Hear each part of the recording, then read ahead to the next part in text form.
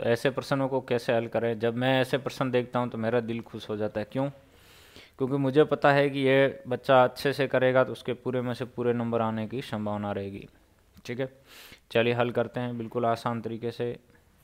करना क्या है? सर्वप्रथम हम लिख देंगे, दिया है। क्या दिया है?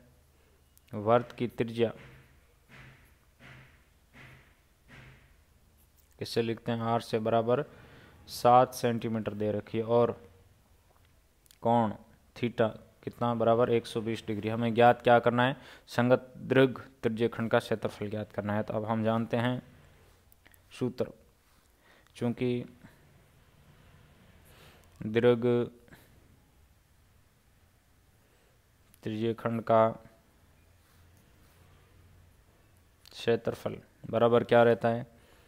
पाई आर स्क्वायर तीन सौ साठ डिग्री माइनस थीटा बट्टे तीन सौ साठ डिग्री। ठीक है? ये दीर्घ त्रिज्य खंड का क्षेत्रफल का यह फॉर्मूला रहता है। ठीक है?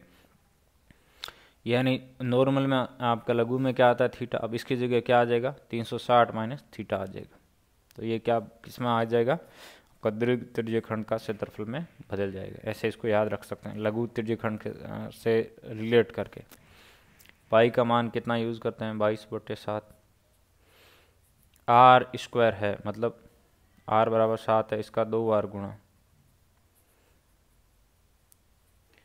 यहाँ कितना आ जाएगा? तीन सौ साठ माइनस एक सौ बीस। अब जो कैंसिल हो रहा है, उसको काट देते हैं। सात से सात उठ गया। ऊपर क्या आ गया? बाईस गुणा सात। यहाँ एक सौ बीस घट गया। कितना आ रहा है? दो सौ चालीस। नीचे कितना पड़ा है?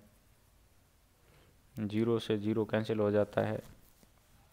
कौन किससे कट रहा है? ध्यान से देखते हैं। ये चार से कटता है छः बार। ये चार से कटता है कितना? नौ बार। ठीक है? उसके बाद ये तीन से कटता है तीन बार। ये तीन से कितनी बार कटता है? दो बार। तो बाईस गुणा दो, चौवालीस चौवालीस गुणा सात।